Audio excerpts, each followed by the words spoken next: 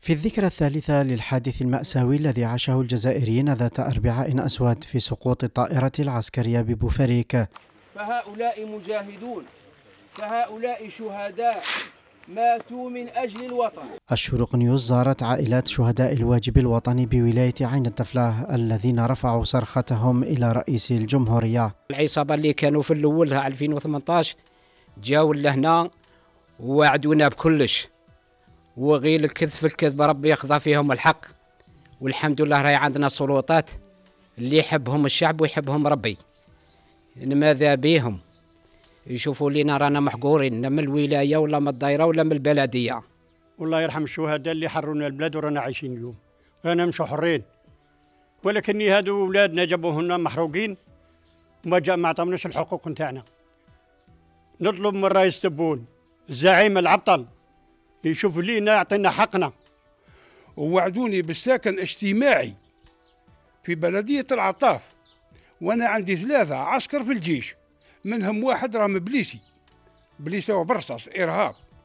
وهذا توفى راح راه باقي لي واحد في الجيش. يسمى أولادي يكملوا لليومنا هذا.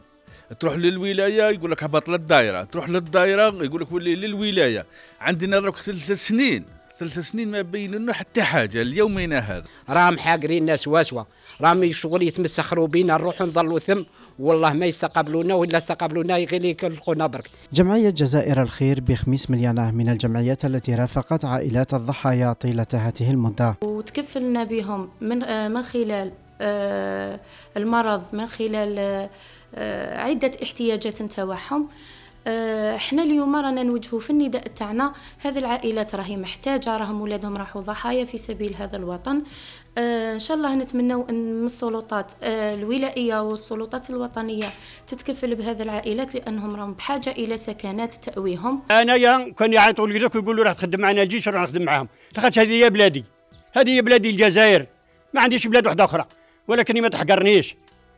ما تحقرنيش. لازم يبقى التضامن والدعم والمساعدة تبقى مستمرة لعائلات الضحايا. ولادي كبادي ما نقدرش ننساهم. ما نقدرش. قولي هذه شعاشت هذه شعاشت هذه. هذه شعاشت عندها عام زواج. هذا شعاش ربي يخزى الحق.